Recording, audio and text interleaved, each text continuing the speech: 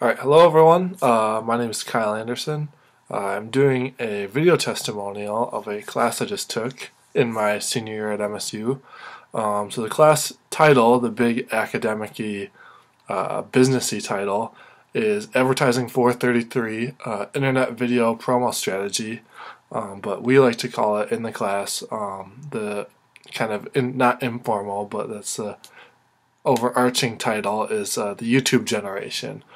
So, uh, what is the class? Um, the title is pretty self-explanatory. Um, basically, what it is, um, both titles kind of work hand in hand. So you learn about promo strategies, but through people who upload videos to YouTube and who are creators um, for different channels and different kinds of content.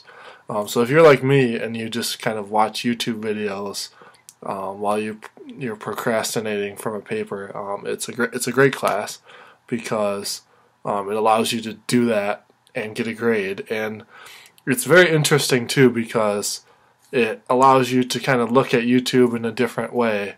Um, like for instance, um, I never really thought about like what drives people to get uh, so many views. Like why does PewDiePie have 50 million subscribers and watching his videos and watching other channels, uh, you really get an idea for the market for those kind of videos. And I thought I thought that was like a really cool part of the class.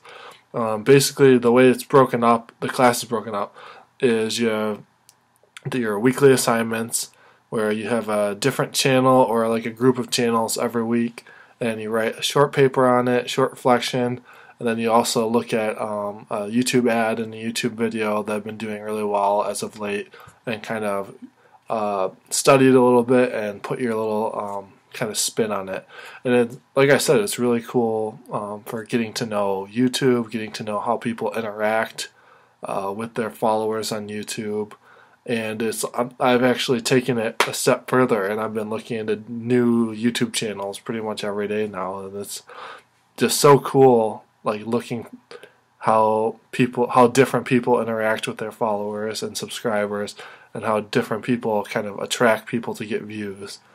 Um, so that's a little overview of the weekly assignments. There's also a group project in the class um, which you're you're uh, put into groups on the first day. Ours was were about uh, like three or four people. We had three guys in our group including myself and the task was to create a YouTube video, and the person with the most views was um, got like the most um, got like an automatic four point or something. I can't remember what it said on the syllabus, but um, basically, uh, what, what, we chose to do was uh, St. Patrick's Day at the Rib, which was a cool concept, um, except the the way it fell with St. Patrick's Day was literally the day before um, we needed to uh, turn it in. So we really had to hustle getting that done. Um, so it was. It doesn't have a lot of views. Um, I think we're like second to last on the on the view chart, but I think um, all things considered, I think we did a pretty good job. Uh, so overall, I'll just kind of wrap it up now um, because you're probably bored of talking, listening to me talk for almost four minutes now. Um, but the class is great. I'd highly recommend it if you're an advertising major and you've taken a new media driver's license. Um, and it, like I said, if you're like me, you just like watching YouTube videos, you want to learn a little bit more about how it works and how monetization of the YouTube videos works, take this class. It's a great experience. Uh, I'd highly recommend it to anyone um, in the ad program. So that's my take on it. I'll check, check you later.